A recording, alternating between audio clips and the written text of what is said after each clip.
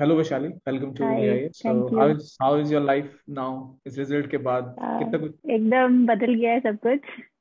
पहले तो कल रात को जब तक सोए नहीं तब तक समझ नहीं आया सिंकिन ही नहीं हुआ क्योंकि एब्जॉर्ब करने के लिए टाइम चाहिए होता है आपको और उसके बाद से आप लगातार कॉल्स ले रहे हैं। तो बस आप थैंक यू बोल रहे होते हैं बट वो अंदर से जब समझ में आता है कि अच्छा ये हो गया है जो सपना देखा था वो पूरा हो गया तो वो थोड़ा लेट समझ में आया बट आया अच्छा लगा। वैशाली आपका तो स्पेशल है ये यूपीएससी क्योंकि सिर्फ़ आपके लिए ही नहीं आपकी सिस्टर ने भी क्वालिफाई किया है और आप दोनों हाँ की रैंक इतनी अच्छी आई है। तो हाँ मेरा एक सवाल होगा आपसे कि आप और आपकी सिस्टर दोनों ने प्रिपेयर किया था तो क्या सिबलिंग राइवलरी हो जाती है या फिर सिबलिंग्स हेल्प करते हैं दूसरे की प्रिपरेशन में? नहीं कंपटीशन नहीं होता है कोऑपरेशन ज़्यादा होता है और एक दूसरे को अगर हम पुल करते हैं तो नीचे नहीं करते हैं आगे की तरफ़ ही लेके आते हैं कि अगर मेरा थोड़ा सा ज़्यादा हो गया तो आप भी पढ़िए आपका कहाँ रह रहा है डिस्ट्रैक्शन हम्म। उस तरीके का ज़्यादा रहता है और उन्होंने कॉन्स्टेंटली गाइडेंस प्रोवाइड की है। वही है जो मेरा हाथ पकड़ के मुझे इस जर्नी में लेके आई थी और गाइड किया है और पूरा मेंटोर किया है। उन्हीं की वजह से ऐसा है कि शी वॉज़ वेरी श्योर कि you don't need any coaching तुम बस पढ़ो जो बता रहे हैं और हो जाएगा। तो वो रहा आप बिल्कुल आपने इतनी अ, कम टाइम में इतना कुछ अचीव किया है। आपके एकेडमिक प्रोफ़ाइल के हिसाब से भी आप गोल्ड मेडलिस्ट हैं आप एमटेक कर चुकी हैं आई थिंक आप रिसर्च भी कर चुकी हैं।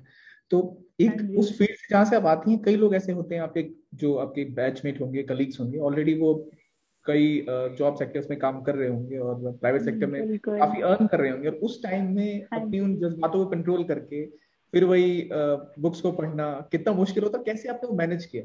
ग्रेजुएशन के बाद भी everyone expected me to complete my MBA but मैं मेरा इंक्लिनेशन मैकेनिकल में था तो मैं एमटेक में चली गई और वहाँ पे लड़कियाँ नहीं होती है तो वो भी एक था। फिर उसके बाद और टेक्निकल फ़ील्ड पकड़ लिया फिर इंजीनियरिंग सर्विसेज़ में ही चले गए। और अ, उसके बाद फिर जब प्रिपरेशन में स्टार्ट हुआ तो जब पहला प्रीलिम्स नहीं हुआ तब लगा कि हम कहाँ हैं और अ, हमारे दोस्त कहाँ पहुँच गए हैं। फिर थोड़ा खुद को समझाया कि ये एक सपना है और इसमें मेहनत लगती है और अ, आपको कीमत चुकानी होगी जो ये सपने की कीमत है। तो फिर सोशल मीडिया से कट ऑफ़ लिया क्योंकि वो एक मेजर डिस्ट्रैक्शन बन गया था। व्हाट्सएप फेसबुक इंस्टाग्राम का अकाउंट ही नहीं बना है आज तक हमारा ट्विटर भी अकाउंट ही नहीं बना है। तो इन सबसे डिस्टेंस किया खुद को और एक ऐसे इन्वायरमेंट में लेके आए कि आसपास जो लोग हैं, वो एक पॉजिटिव एनवायरनमेंट क्रिएट करे ताकि हम फोकस रहें मोटिवेटेड रहें और चलते चलें। जर्नी है एक, इसको खत्म करना ज़रूरी है अगर शुरू किया है तो। तो बस वही एक लेसन था इसमें, पहले प्रीलिम्स के बाद कि चलना बहुत ज़रूरी है, आप थक सकते हैं आप थोड़ी देर सांस ले सकते हैं बट आप रुक नहीं सकते हैं। वैशाली, अब जैसे आप स्ट्रेटजीज ऑलरेडी कई जगह शेयर करेंगी और आपने कई जगह बात की भी होंगी अभी तक और आगे भी आप करेंगी। पर मेरा सवाल होगा कि पिछले फ़िल्म में जब आपका सिलेक्शन नहीं हुआ, उसके बाद जो लाइफ में एक लो आता है, जब आप इतनी अचीवमेंट्स करके आई हैं, आपने इतना सब कुछ अचीव किया, अचानक से इतना बड़ा स्टम्बलिंग ब्लॉक सामने आया और आपके कलीग्स ने ज़रूर क्वालिफाई किया होगा, वहाँ से जब आपको लगता है, यार, अब फिर इतनी बड़ी जर्नी सामने है, शायद मैं, क्या मेरे अंदर वो है भी काबिलियत या नहीं क्वालिफाई करने की?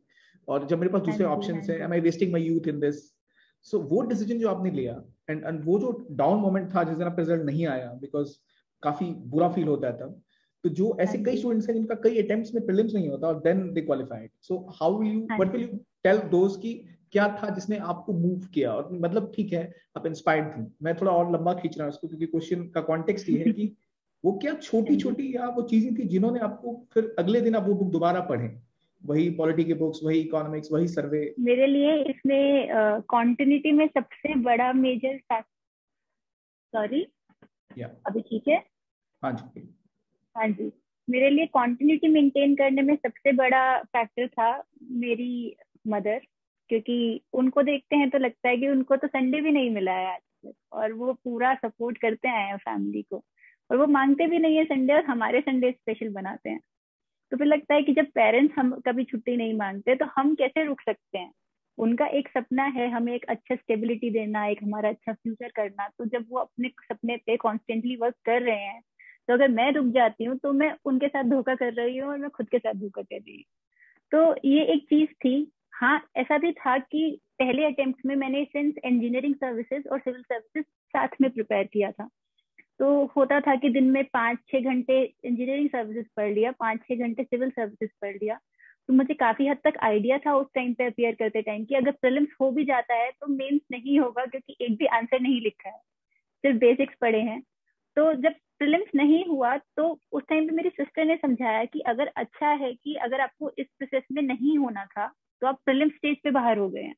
क्योंकि अगर आप मेंस के बाद एकदम मार्जिन पे भी पहुँच के फिर बाहर होते हैं तो आपके पास अगले प्रिलिम्स के लिए और मेंस के लिए टाइम कम हो जाता है तो आप साइकिल में फंस जाते हैं। तो अगर आपका नहीं होना है तो इसको एक पॉजिटिविटी की तरह लीजिए कि आप पहले ही स्टेज में बाहर हो गए हैं और अब आपके पास बहुत टाइम है, आप प्लान कर सकते हैं और आपको फुल डेडिकेशन से सिविल सर्विसेज़ प्रिपेयर करना है। तो that was the thing that kept me motivating and moving and बस उसी के सहारे चलते चले गए और एक विश्वास रखा कि कुछ ना कुछ तो कर लेंगे ज़िंदगी में। ऐसे, ऐसा नहीं होगा कि बिल्कुल ही लो आ जाएगा। हमेशा ऐसा लगता था कि ठीक है एकेडमिक बैकग्राउंड स्ट्रांग रहा है तो उस टाइम भी कुछ था जो कर लिया। ये एक फ़ेज़ है, ये चला जाएगा, सबके में आता है। लो आया है तो हाई भी आएगा। और फिर वो कुछ कविताएँ हैं, उनकी पंक्तियाँ हैं कि वक्त आने पे बता देंगे तुझे आसमां। हम अभी से क्या बताएँ, क्या हमारे दिल में है? ये हम लिख के सामने चिपका लिया था कि जब भी लोग होगा, इनको ही देखेंगे, इनको ही पढ़ेंगे। वैशाली जैसे आपने बहुत अच्छा एक्सप्लेन किया कि जो प्रॉब्लम स्टूडेंट्स को आती हैं और कैसे आपने उसको एनकाउंटर किया, क्योंकि एक ने आपने एक रिलेटिव फेलियर देखा और क्योंकि आप ऑलरेडी एकेडमिकली इतनी हाई लेवल पे थी और then you failed faced failure और वहाँ से फिर आपने रिवर्बरेट किया कि सीधा दोबारा इतनी अच्छी रैंक प्राप्त करी है। तो फिर वही उसी से रिलेटेड एक और क्वेश्चन है कि जैसे आपने बोला कि आप वो कविताएँ यूज़ करती है कई लोग ऐसा मानना है कि जब वो प्रिपेयर करते हैं तो सब कुछ छोड़ देते हैं। जैसे आपने बोला सोशल मीडिया छोड़ देना it is comparatively easier than आपकी फैमिली रिस्पॉन्सिबिलिटीज होती हैं आपकी कुछ पार्टीज़ होती हैं कुछ मीटिंग्स होती हैं कुछ फ़ंक्शंस होते हैं। तो क्या आपने टोटली कट ऑफ़ कर लिया था या अपना टाइम कैसे शेड्यूल करती थी? Time management is one thing जो मुझे ऐसा लगता है कि जिसने मेरी प्रिपरेशन को बचा के रखा। डेली uh, टारगेट्स होते थे मंथली टारगेट्स होते थे।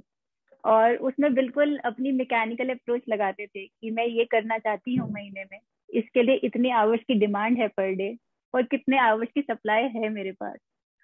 और फिर उसमें जो गैप होता था उसके बाद आई यूज़ टू प्रायोरिटाइज कि अब एक डेढ़ घंटे का गैप आ रहा है, मुझ पे, मेरे पास डेफिशिएंसी है एक डेढ़ घंटे की तो क्या सेक्रीफाइस होगा इसमें से? और रोज के शेड्यूल में चाहे मेरी द पॉइंट कि मैं अपनी फैमिली के साथ अच्छा टाइम स्पेंड करूँ।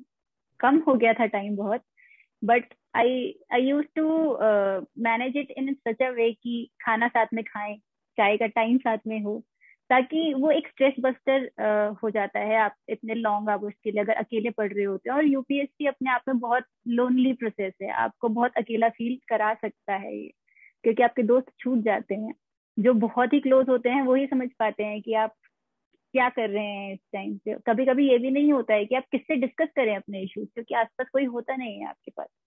तो उन सब चीज़ों में टाइम मैनेजमेंट वॉज़ थिंग और मैंने खुद को ये भी समझा रखा था कि अगर मैं दस घंटे प्लान करूँगी तो मैं शायद दिन में नौ घंटे ही पढ़ूँगी क्योंकि मैं एक ह्यूमन हूँ और मेरी एक प्रोडक्टिविटी लेवल है। मैं ग्यारह घंटे प्लान करके ग्यारह घंटे नहीं पढ़ सकती तो मैं थोड़ा ज़्यादा का प्लान करती थी और फिर उसमें बफर रख लेती थी कि अगर मेरी फैमिली रिस्पॉन्सिबिलिटीज आती हैं तो मेरे पास एक क्वेश्चन रहता था हमेशा कि uh, कोई काम आया कोई रिस्पॉन्सिबिलिटी है तो उससे मैं शायद ही नहीं कर सकती हूँ। जब मैं अपनी फैमिली से इतना सब कुछ ले रही हूँ तो मेरा भी फ़र्ज़ बनता है कि मैं उनके ऊपर अगर प्रॉब्लम्स हैं तो वहाँ पे टाइम दूँ उनको सपोर्ट करूँ। तो इस तरीके से हर महीने का कुछ क्वेश्चन रहता था डेली का कुछ आवर्स का क्वेश्चन रहता था और बस ये था कि जो प्लान किया है फिर वो फॉलो करना है। डेली प्लान बनेगा और डेली फॉलो करेंगे। आप पूरी प्रिपरेशन के दौरान आप घर में ही रही क्योंकि लोग अक्सर घर से बाहर शिफ्ट हो जाते हैं प्रिपरेशन के लिए। हाँ जी। तो मतलब ये तो और खास बात है कि ज़रूरी नहीं कि अगर आपको एक अच्छी रैंक चाहिए तो आपको घर से बाहर जाके कुटिया में रहना होगा। आप घर में रह के भी परफॉर्म कर सकते हैं अगर आप अपने टारगेट्स को मीट करें। मेरा आपसे हाँ अगला सवाल भी इसी हिसाब से होगा कि जैसे आपने बोला आपने कोचिंग कोचिंग करी थी शायद आपने? नहीं मैंने कोचिंग नहीं की है तो तो क्योंकि ऑनलाइन रिसोर्सेज इतने सारे हैं और पहले पॉइंट था कि रिसोर्सेज नहीं थे। अब ऐसा लगता है कि डिस्ट्रैक्शन हाँ हाँ ज़्यादा है क्वालिटी कंटेंट कम है और इतना ज़्यादा डाइवर्स कर देते हैं आपको वो। तो आपने क्या सिस्टम अडॉप्ट किया जिसके थ्रू आप लिमिट कर पाए अपने रिसोर्सेज को या सोर्सेज को और वो कौन से सोर्सेज थे? uh, मतलब मेंस और प्रीलिम्स के लिए अलग अलग सोर्सेज थे। प्रीलिम्स uh, के लिए ओनली आई एस में ऐसे डे वन से मुझे मेरी सिस्टर ने इंट्रोड्यूस करा दिया था कि this is the channel you have to follow pre booster पे सुमित सर का वीडियो आता था। और वो वीडियो इतना कंसाइज और ज़्यादा अच्छा होता था प्रीलिम्स के हिसाब से कि सिंस हेल्थ का वो रहता था मुझे इश्यूज़ तो मेरा योगा और एक्सरसाइज करना एक डेली रूटीन का पार्ट था। तो वो साथ में वीडियोस लगा लेते थे और अपना योगा और हेल्थ का एक्सरसाइज चल रहा है और इस तरीके से टाइम मैनेज हो जाता था। एक बार प्रिलिम बूस्टर देख लिया, उसके बाद एडिटोरियल डिस्कशन देख लिया, उसके बाद न्यूज़पेपर में जो टाइम रिक्वायर्ड है वो बहुत कम हो जाता था और अंडरस्टैंडिंग डीपर डेवलप होती थी उससे। तो ओनली आई एस का ये दो videos were the main part उसके बाद वो कंपाइलेशन पे आने लगे थे मंथली कंपाइलेशन जो मैंने बहुत ऐसे रेगुलरली तीन तीन चार चार बार भी पढ़े हैं प्रिंट आउट लेके उनको। और uh, उसके बाद uh, मेरे जो बेसिक सोर्सेज है उन पर स्टिक किया था। हिस्ट्री में स्पेक्ट्रम लक्ष्मीकांत ये जब सोर्सेज हैं उनको मल्टीपल रीडिंग्स दिए थे और टेस्ट पेपर्स जो हैं क्वेश्चंस हैं उनको ज़्यादा प्रैक्टिस किया था प्रीलिम्स में। मेंस में आंसर राइटिंग ज़्यादा फोकस था जिस भी सोर्सेज से मुझे क्वेश्चंस मिले डेली आंसर राइटिंग प्रैक्टिस करते थे। डेली चार से पाँच क्वेश्चन लिखते थे। तो मुझे ये समझ में आता था कि अगर मैं ये देख रही हूँ कि दो तीन क्वेश्चन से होता क्या है अगर हम रोज लिखते हैं तो। बट वो दो तीन क्वेश्चन अगर महीने में पूरे में लिख रही हूँ तो वो बहुत बड़ा अमाउंट बन जाता है क्वेश्चन का। नब्बे क्वेश्चन हो जाते हैं साढ़े चार टेस्ट पेपर के बराबर हो जाते हैं। तो वो एक जो होता है ना कि आपके छोटे एफर्ट्स आपको कितना कंट्रीब्यूट करते हैं। मुझे लगता है कि मेरे में बहुत छोटी छोटी चीज़ें रही हैं जिन्होंने कंट्रीब्यूट करा है। मैंने कोई एक्स्ट्रा ऑर्डिनरीली बड़ी चीज़ नहीं की है। मैंने बहुत छोटी छोटी चीज़ों पे इम्प्रूव करके ही आ, आ, काम किया है अपनी स्टडी जर्नी में। और जैसे आप मैकेनिकल बैकग्राउंड से आती हैं और आपका ऑप्शन भी मैकेनिकल ही था। हाँ जी। तो कई इंजीनियर्स स्विच कर लेते हैं अक्सर क्योंकि कंसिडरिंग की काफ़ी ज़्यादा डाइवर्ट कर देता है वो आपको, आपके जीएस के पेपर से। क्या और कैसे आपने वो बैलेंस बनाया कि आप मैकेनिकल ऑप्शनल लेते हुए भी जीएस को बैलेंस कर पाए? पहली बात मैं मैकेनिकल में कॉन्फिडेंट बहुत थी क्योंकि मेरे लिए वो बहुत इंट्यूटिव सब्जेक्ट था। मुझे ऐसा लगता था कि वो चीज़ों के लिए मुझे स्पेशली पढ़ना नहीं पड़ता है।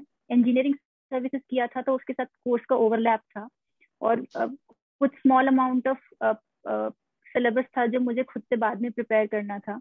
और सबसे बड़ी गलती मुझे ऐसा लगता है मैकेनिकल इंजीनियर जो इस प्रिपरेशन में करते हैं, वो ये है कि वो मैकेनिकल इंजीनियर इंजीनियरिंग में अपना स्कोर मैक्सिमाइज करने के चक्कर में जीएस को नेग्लेक्ट कर देते हैं।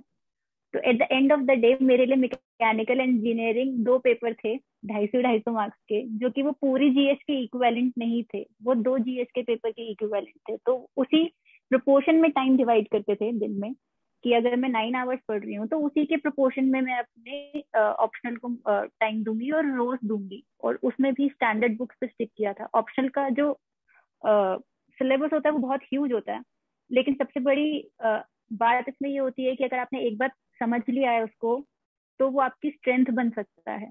आपने न्यूमेरिकल ठीक किया है तो उसमें ऑब्जेक्टिविटी आ जाती है आपके हाथ में आपके पेपर में कि it is not based on the understanding of the examiner or interpretation of the uh, examiner. आपका आंसर सही है आपको मार्क्स मिलेंगे। वो एक चीज़ है जो जिसकी वजह से मैकेनिकल की तरफ़ में आई थी। और मुझे ऐसा लगता है कि जीएस और मैकेनिकल को दो अलग ब्लॉक्स की तरह देखने की बजाय आप उनको पेपर वाइज देखिए उनका क्या वेटेज है उसकी तरफ़ देखिए। और अगर आप 280 स्कोर कर रहे हैं ऑलरेडी मैकेनिकल में तो आप बहुत ज़्यादा एफर्ट लगेगा उसको 300 के पार पुश करने के लिए। लेकिन शायद उससे कम एफर्ट लगेगा आपको हर जीएस के पेपर में दस मार्क्स बढ़ाने के लिए। तो मेरा मार्क्स मैक्सिमाइजेशन था इवेंचुअली जो प्रॉब्लम स्टेटमेंट था और मैं उसी को देख के करती थी। वैशाली, जैसे आपने बताया कि आपने इस तरह इसको बैलेंस किया, पर एक बड़ा ही माइनर सा पॉइंट है, पर कई लोगों के लिए बहुत मेजर इशू होता है, वो कि आपने दो टेस्ट प्रीलिम्स के लगाया या एक मींस का आंसर लिखा, आपके नंबर बहुत कम आ गए। और आपको लग रहा है, यार, पिछले बार मेरा प्रीलिम्स नहीं हुआ है, इस बार फिर प्रीलिम्स आने वाला है, मेरी परफॉर्मेंस कम आ रही है। यार क्या करूँ मॉक तो कितने लगाऊँ या ना लगाऊँ? तो जो लो स्कोर्स आते थे वहाँ से फिर आप कैसे स्ट्रेटेजाइज करती थी?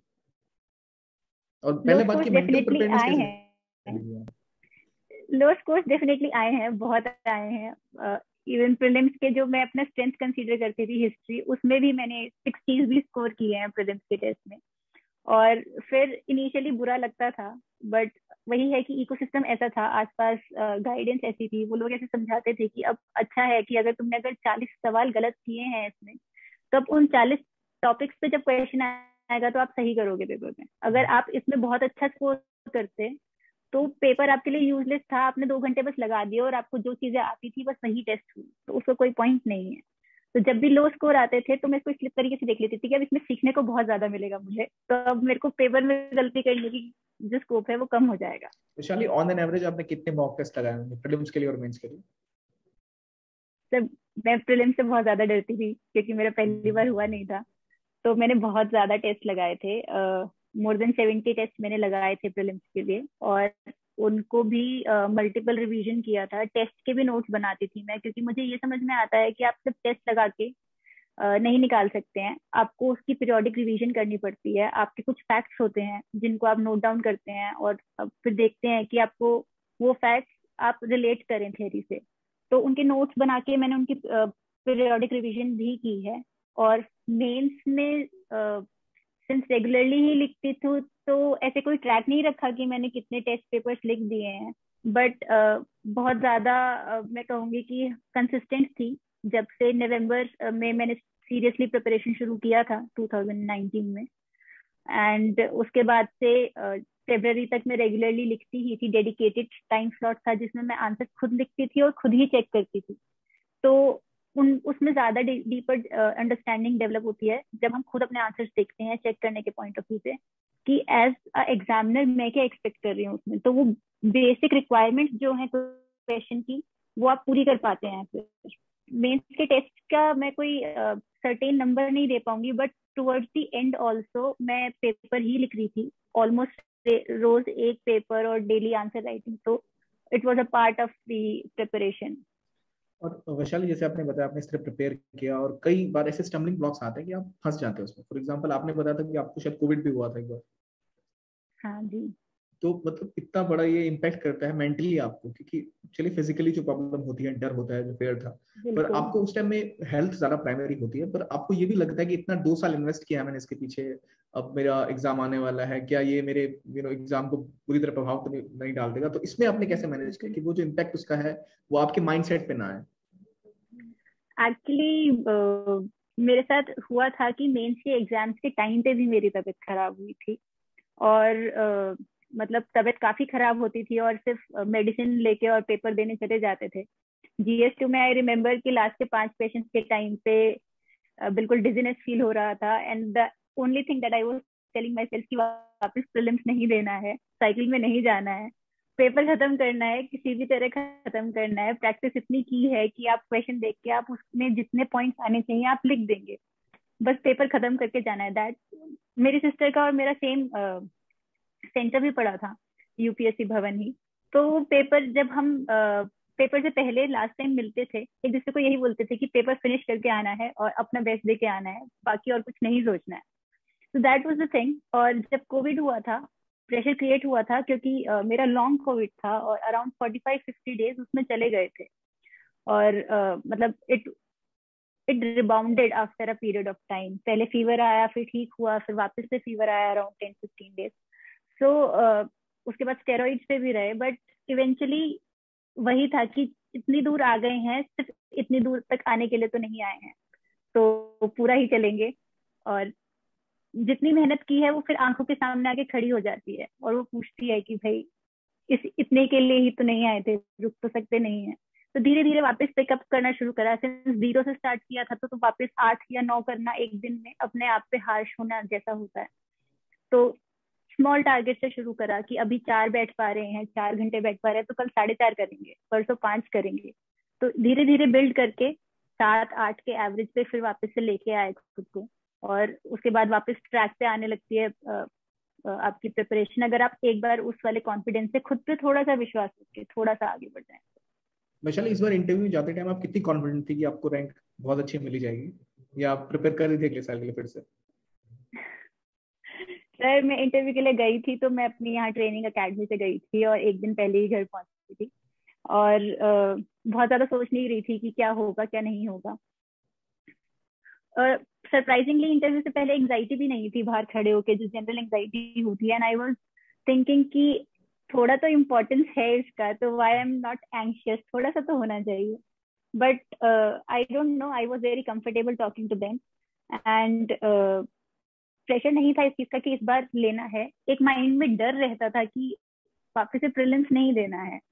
वो प्रिलिम्स का प्रिपरेशन मुझे काफ़ी टफ लगता था, क्योंकि वापस से प्रिलिम्स नहीं देना है I think was the major motivator for me कि खुद को बस यही बोलना है, वापस से प्रिलिम्स नहीं देना है।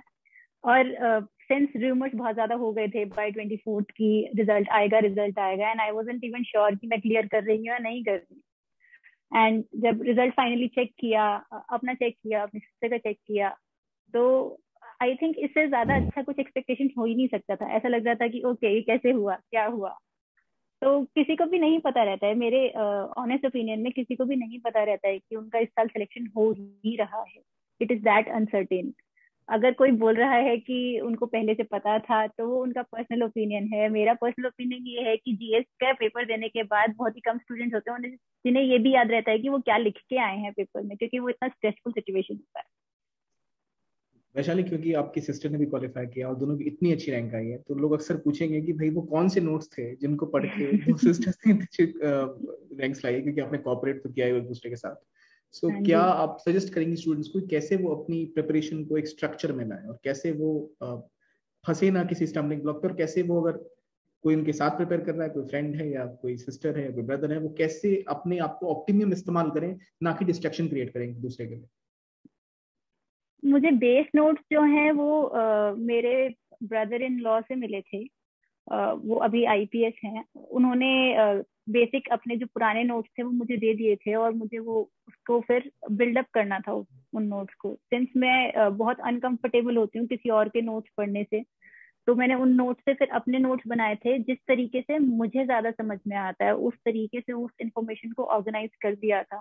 फॉर एग्ज़ाम्पल इकोनॉमी के नोट्स में मैं, मेरे हर टॉपिक पे एक पेज के चार सेक्शंस रहते थे, जिसमें एक साइड पे फैक्ट्स होंगे, एक साइड पे पॉजिटिव्स होंगे नेगेटिव्स होंगे गवर्नमेंट की कमिटीज उनके रिकमेंडेशन चौथे साइड पे होंगे और क्या कर सकते हैं। तो एक पेज पे पूरे एक टॉपिक की समरी हो जाती थी और फिर वो माइंड मैप्स क्रिएट हो गए थे। और इसी तरीके से पूरे इकोनॉमी के हर टॉपिक के इन्हीं चार हेडिंग्स पे ही माइंड मैप्स थे। तो ये एक चीज़ रहती है मीन्स में कि आपको बैलेंस आंसर लिखना है। तो आप पॉजिटिव्स भी देंगे आप नेगेटिव्स भी देंगे आपको इंट्रोडक्शन में फैक्ट भी देना है आपको कमिटी भी देनी है रिकमेंडेशन तो ये सब चीज़ें एज इट इज़ यूज़ होनी ही है। तो वाई नॉट ऑर्गेनाइज इट तो वो नोट्स के अंदर ही ऑर्गेनाइज कर दिया था उन सबको और that is I think it help me in exam Vaishali पिछले एक साल में हमने कोई मूवी देखी थी? या कहीं आप घूमने गई या आपने कुछ नहीं किया पिछले एक साल? पिछले एक साल तो कोविड ही था। तो okay. uh, उस टाइम तो कुछ कर भी नहीं सकते थे। रादर कोविड का लॉकडाउन का जितना इम्पैक्ट फैमिली को फील हो रहा था उतना हमें हो ही नहीं रहा था क्योंकि काफ़ी टाइम से एक ही रूम में बैठ के पढ़ रहे थे। बट मूवीज़ uh, देखना यस मूवीज़ देखी हैं और वेब uh, सीरीज़ भी देखी हैं बट उस तरफ़ इंक्लिनेशन बहुत कम है।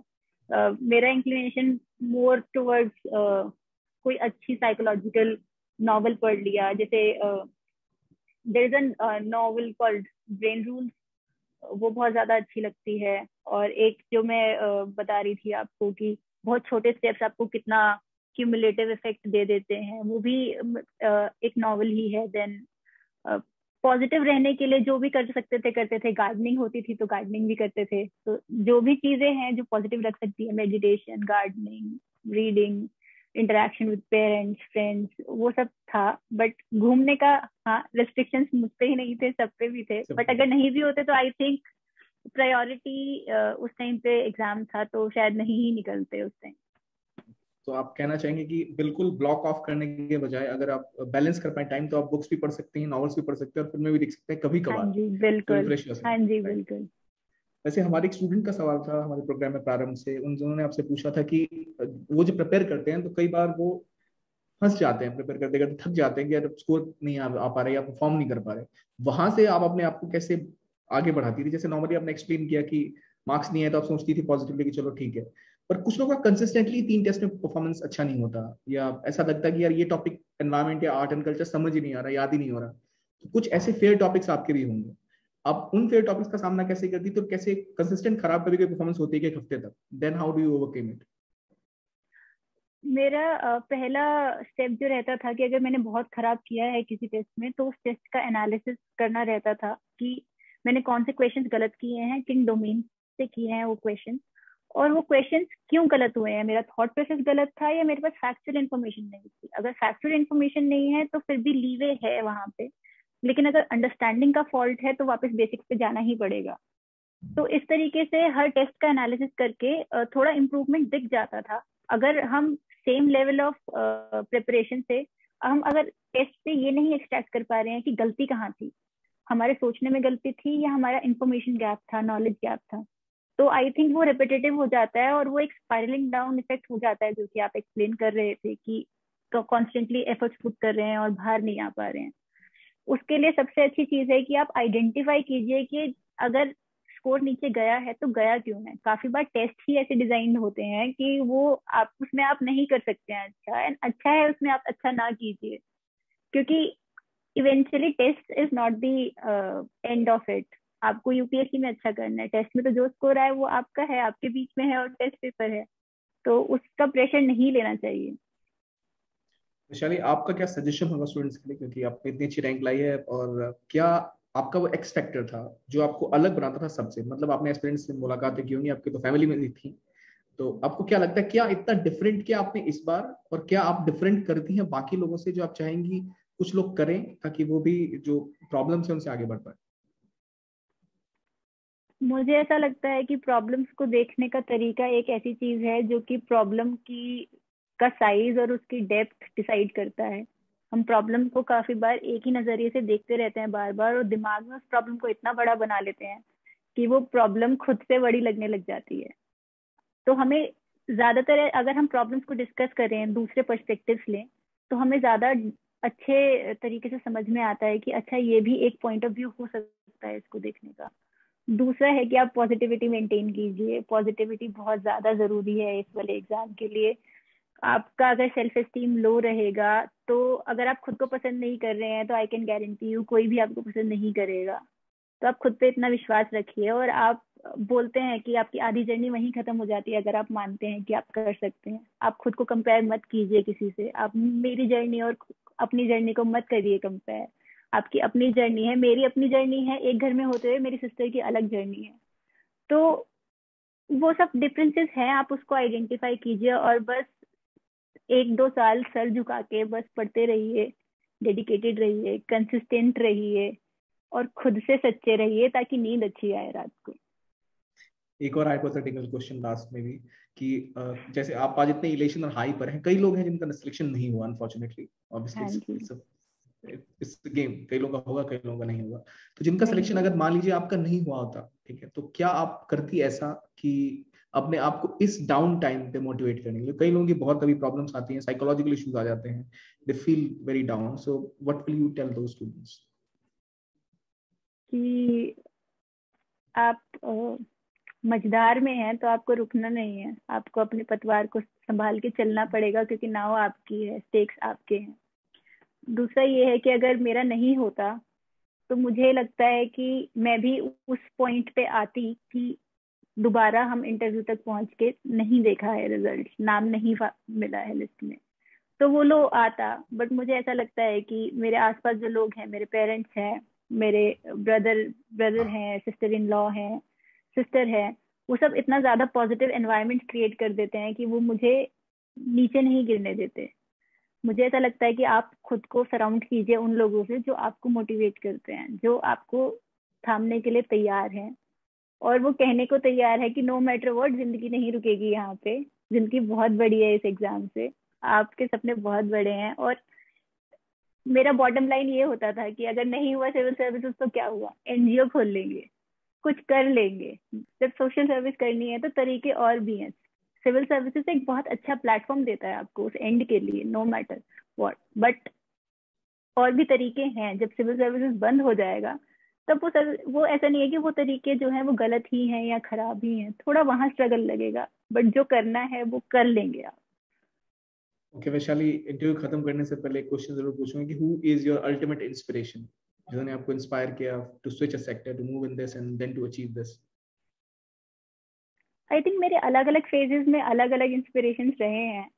मेरी एक हैबिट है कि मैं इंस्पिरेशनल कोर्स बहुत पढ़ती हूँ और इंस्पिरेशनल जो फिगर्स हैं उनके बारे में पढ़ती हूँ। इस जर्नी में लेके आने वाली मेरी सिस्टर हैं।